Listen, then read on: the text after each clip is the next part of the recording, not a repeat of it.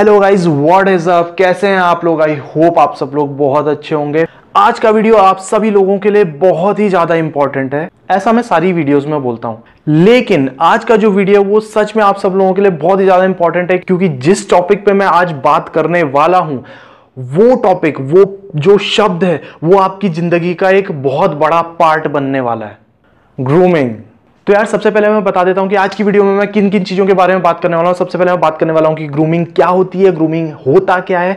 Hospitality की terms में grooming क्या क्या चीज़ें आपकी इंपॉर्टेंट होती है, क्यों ग्रूमिंग इंपॉर्टेंट है, और एट दी एंड आपको कुछ ऐसी चीज़ें बताऊँगा, कुछ ऐसे प्रोडक्ट्स बताऊँगा, अगर आप उन चीज़ों को यूज़ करोगे तो डेफिनेटली आपको बहुत फ़ायदा होगा।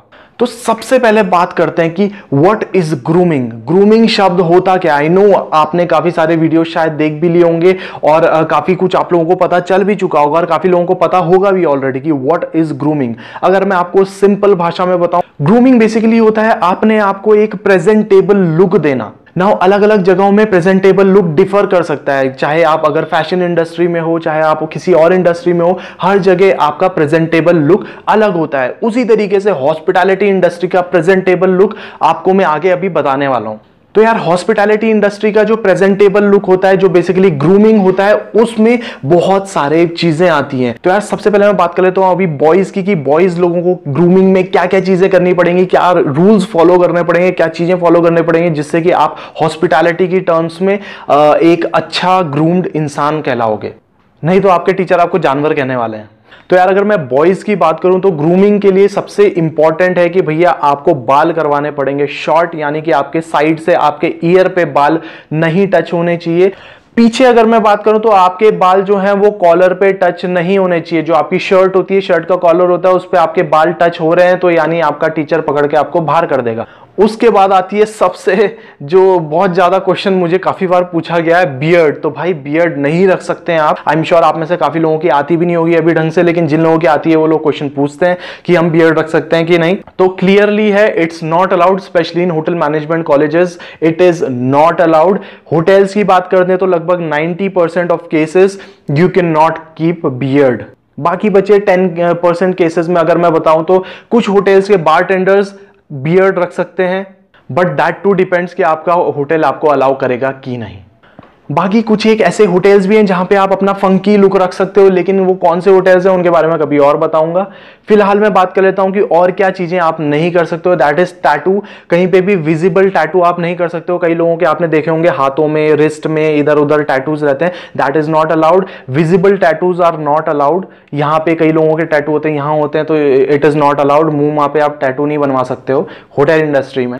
साथ ही साथ आपके बाल जो है it should be properly combed ऐसे नहीं कि आपने स्पाइक्स बना दिए हैं, कुछ भी कर दिया इस तरीके का अलाउड नहीं होता है। आपको प्रॉपरली अगर आपने शॉर्ट भी करे हुए you have to comb it properly ऐसे नहीं कि भैया ये शाबी लुक लेके आ गए and it's the new cool look hotel industry में आपको जेंटलमैन दिखना है कूल डूड नहीं तो इस चीज़ का आपको ध्यान रखना पड़ेगा। तो आई नो कई लोग अभी मुझे बोलने वाले कि तुमने खुद तो बियर्ड रखी हुई है और तुम दूसरों को बोल रहे हो कि बियर्ड इज़ नॉट अलाउड और इस तरीके की बातें कर रहे हो। तो भाई आपको और वीडियोस देखनी पड़ेंगी मेरी, अगर आपने अब तक नहीं देखी है, तब आपको पता चलेगा कि why have kept my beard और मैं आखिर क्या कर रहा हूँ। अब बात कर लेते हैं गर्ल्स की तो गर्ल्स को क्या ग्रूमिंग फॉलो करनी पड़ेगी? सबसे पहले बात कर लेते हैं उनके हेयर्स की। तो देखो, अगर आपके शोल्डर लेवल से ज़्यादा बड़े हेयर्स हैं तो आपको बन बनाना पड़ेगा, यानी जूड़ा बनाना पड़ेगा प्रॉपर और अगर आपके बाल शोल्डर लेवल से छोटे हैं तो आपको उनको प्रॉपरली क्लिप्स के साथ एक नीट लुक देना पड़ेगा। उसके बाद आते हैं आप लोगों के मेकअप की तो गर्ल्स आप मेकअप इतना ज़्यादा एक्स्ट्रा जो वो खतरनाक खतरनाक वाले, मुझे तो पता भी नहीं है क्या क्या चीज़ें होती है, वो सब चीज़ें लगाते हो मुँह पे दैट इज़ नॉट अलाउड आपको बहुत ही ज़्यादा लाइट मेकअप करना होगा। In hotels you have to keep light makeup जिस भी आप डिपार्टमेंट में रहें, हर डिपार्टमेंट में आपको बिल्कुल लाइट मेकअप करना होगा। तो यार, जो आप लोग वो ब्राइट कलर की लिपस्टिक्स वगैरह लगाते हो आई और पता नहीं क्या क्या वो हैवी हैवी चीज़ें लगाते हो मुँह पे तो वो चीज़ें अलाउड नहीं होती हैं। आपको बिल्कुल लाइट मेकअप करना होगा। मतलब एक lip gloss would be fine and little bit of what जो मुँह पे लगाते हैं वो वाला, समझ ही गए होंगे।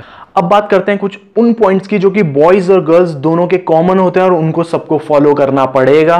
तो सबसे पहला और सबसे इंपॉर्टेंट है, नहाना पड़ेगा।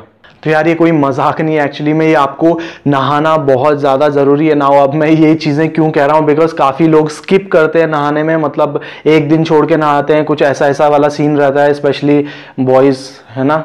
तो आई नो यार ये बोलने और सुनने में ऑकवर्ड है, और आप में से सब लोग बोलेंगे, भाई, हमको पता है नहाना होता है। लेकिन बहुत ज़्यादा इंपॉर्टेंट है बिकॉज़ आई नो बहुत सारे लोग ऑलमोस्ट 80 टू 90 परसेंट जितने भी आप लोग हैं, आप नहाते हो, रोज़ नहाते हो, लेकिन कुछ लोग कुछ लोग जो होते हैं, वो लोग नहाने को थोड़ा सा स्किप कर जाते हैं, चाहे एक दिन छोड़ के नहा रहे हैं या कैसे भी तो वो लोग ये चीज़ नहीं कर सकते हैं अभी। उसके बाद सबसे इंपॉर्टेंट होता है कि आपकी ड्रेस जो होती है वो हमेशा क्लीन रहनी चाहिए वेदर इट भी साड़ी हो, चाहे वो आपका शर्ट पैंट हो सूट हो, कुछ भी हो, जो भी आपकी ड्रेस है, वो एकदम क्लीन होनी चाहिए, साथ ही साथ वेल आयंड होनी चाहिए। क्योंकि अगर ये भी नहीं होगा तो ये समझ लीजिए कि आप क्लास से बाहर हो जाएँगे। एक बारी को स्कूल में भी आप इन सब चीज़ों से बच जाते रहोगे लेकिन कॉलेज में स्पेशली होटल मैनेजमेंट कॉलेज में, आप इन चीज़ों से बच नहीं सकते हो। यानी अगर आपने ये रूल्स फॉलो नहीं करें तो भैया आप क्लास से बाहर हो जाओगे। उसके बाद आता है कि आपको जो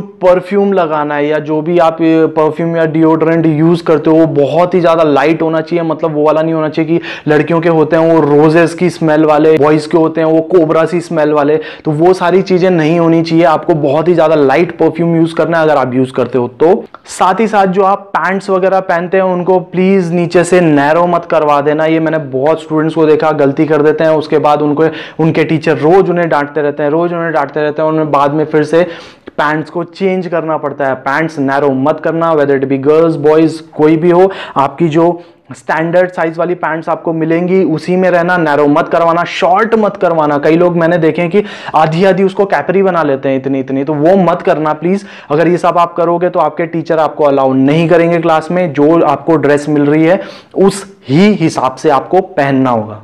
तो ये सारे थे आपके ग्रूमिंग के पार्ट की जो आपको फॉलो करने हैं। अब बात आती है कि why grooming is important in hospitality industry तो इसका सिंपल सा आंसर है। देखो यार, आप सीधी सी बात है, आप करने वाले हो काम। फाइव स्टार डिलक्स प्रॉपर्टीज़ में लग्जरी प्रॉपर्टीज़ में, बड़ी बड़ी प्रॉपर्टीज़ में तो वहाँ पे आपने एक चीज़ देखी होगी। अगर आपने इंटरनेट पे वीडियोस देखे हो या कभी आप गए हो तो आपको पता होगा कि हर एक चीज़ को प्रॉपरली एक एक जगह में वेल स्टैक करके बहुत प्रॉपरली रखा जाता है। कहीं भी आपको डस्ट भी नहीं दिखेगा। तो यार, एक चीज़ बताओ, आप इन चीज़ों को प्रॉपरली कैसे रखोगे जब आप खुद को ही क्लीन नहीं रख पा रहे हो? तो सबसे बड़ी इंपॉर्टेंट चीज़ होती है कि सबसे पहले आपको खुद को क्लीन रखना है, उसके बाद ही आप चीज़ों को क्लीन रख सकते हो।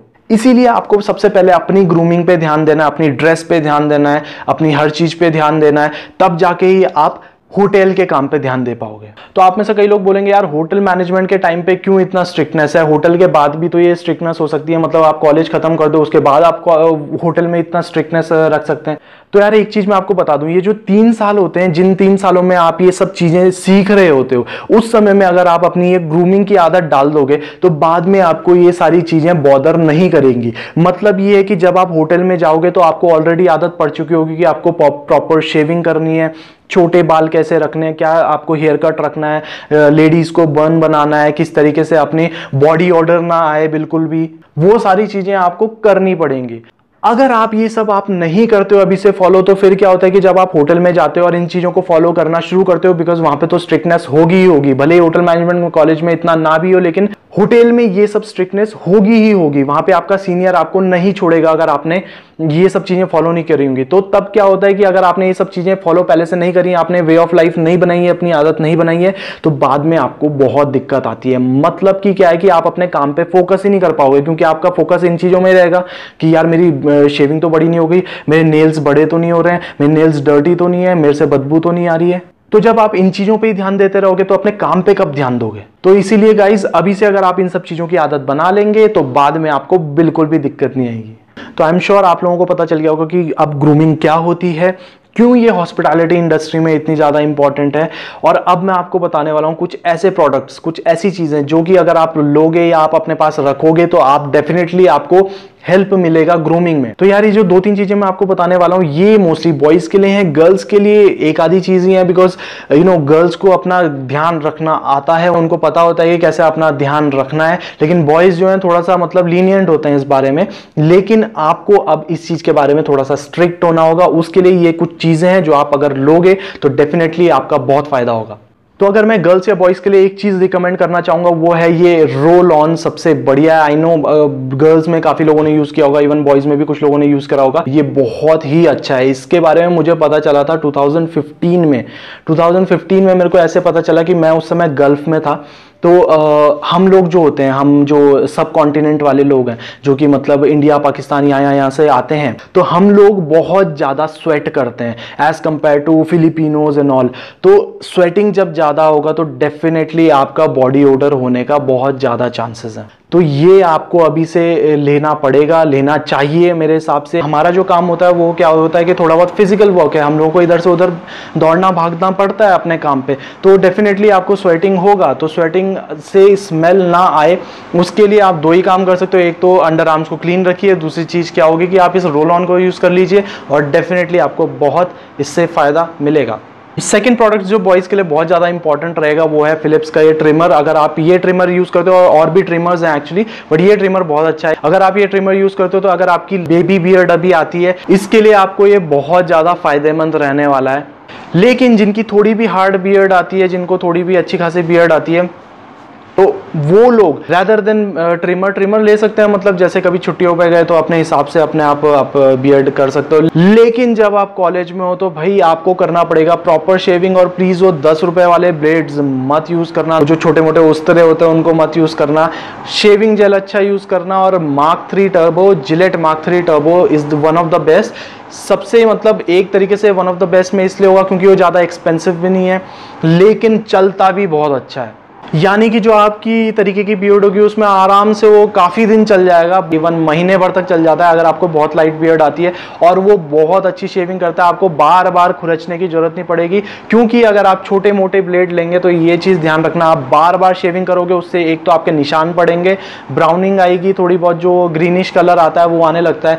और अदरवाइज़ क्या होगा, आपके चेहरे पर थोड़े से भी दाने वगैरह पिंपल्स वगैरह होते हैं तो भाई वो आपका बुरा हाल हो जाएगा। तो इसलिए अच्छी ब्लेड यूज़ करिए ताकि एक बार आप शेव करें और आपको दिक्कत भी ना हो। तो इसलिए मैं जिलेट मार्क थ्री आप यूज़ कर सकते हो, उसका पूरा पैक आता है, वो आप ले सकते हो। इन सारी चीज़ों का आप लिंक आपको डिस्क्रिप्शन में भी मिल जाएगा, वहाँ पे जाके आप चेकआउट कर सकते हो। अमेजोन से बहुत अच्छे प्राइसेस में मिल जाएगा। ज़्यादा आप बाहर से देखोगे, देखो आजकल वैसे कोविड है तो भारत ज़्यादा लोग जा नहीं रहे, लेकिन फिर भी अगर आप बाहर से देखोगे तो थोड़ा बहुत एक्सपेंसिव पड़ सकता है। ये सारी चीज़ें आप बंडल में मंगा सकते हैं। तो नीचे आप लिंक आपको डिस्क्रिप्शन में मिल जाएगा, वहाँ से परचेज आप कर सकते हो। और अभी करोगे तो ज़्यादा फ़ायदा है बिकॉज़ अभी से आप अपनी आदत बनाओगे, इन सारी चीज़ों को कैरी करना सीखोगे तो तभी जाके फ्यूचर में आपको इन सब चीज़ों की आदत बनेगी और अपनी ग्रूमिंग आप प्रॉपरली रख पाओगे। यार आई होप आप लोगों को वीडियो पसंद आई होगी। अगर वीडियो पसंद आई है तो प्लीज़ लाइक और सब्सक्राइब करके ज़रूर जाना आगे। बहुत सारी इंफॉर्मेटिव वीडियोज़ आने वाली हैं तो please do subscribe thank you so much have a nice day bye